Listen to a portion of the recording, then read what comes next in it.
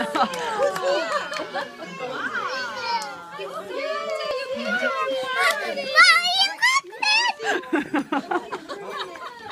many of you kids know Santa? You do? Yeah. Does anybody does anybody know when Santa's coming? When? Christmas, Christmas! Christmas! how many people are ready for Christmas? Two hands up. Two hands up. Everybody's ready. Oh, Santa, we're so happy you came. Why don't you take a seat? Maybe you guys can visit with Santa.